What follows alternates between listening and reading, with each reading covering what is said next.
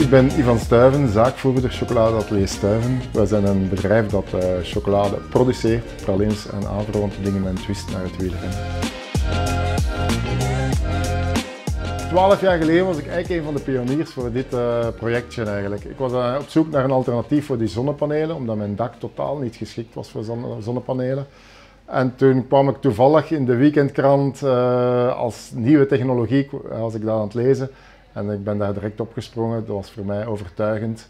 En zo ben ik eigenlijk uh, bij de warmtekracht uh, gekomen. De reden waarom ik die heb aangeschaft zijn eigenlijk uh, uit overtuiging, ecologische overtuiging. En ook een oplossing te zoeken naar een alternatief naar zonnepanelen voor mij. Dus het is onbezorgd elektriciteit produceren. Het toestel op zich is een heel gemakkelijk toestel, ik moet er niet naar omzien. Maar om het alles bij te houden, zijn productie en zo, dat, de chocolade interesseert me net iets meer als dat, dus ik hou het zo goed niet bij.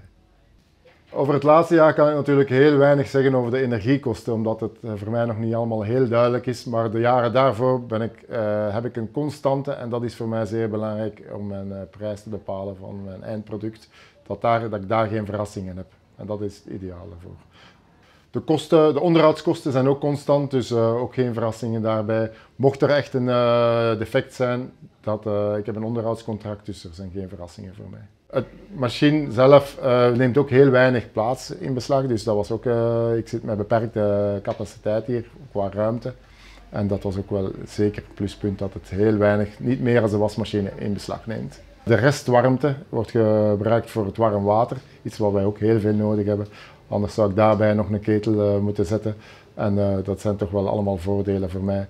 Voor ons is het dus heel interessant om een constante aanvoer van elektriciteit te hebben, omdat wij ook dag en nacht uh, elektriciteit nodig hebben. En ook in de seizoenen, s winters wat meer verwarming, in de zomer wat meer koeling. dus voor ons is het zeer interessant een product te hebben dat constant elektriciteit kan aanleveren, dag en nacht.